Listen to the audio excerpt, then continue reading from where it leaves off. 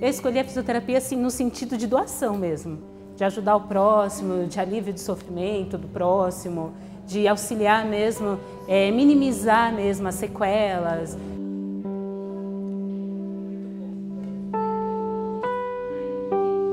Para a gente como ser humano mesmo é muito gratificante você está buscando mesmo a ajuda, o alívio do sofrimento do paciente, é uma satisfação profissional, pessoal, e é, e é o que torna essa fisioterapia muito gratificante para a gente, sabe?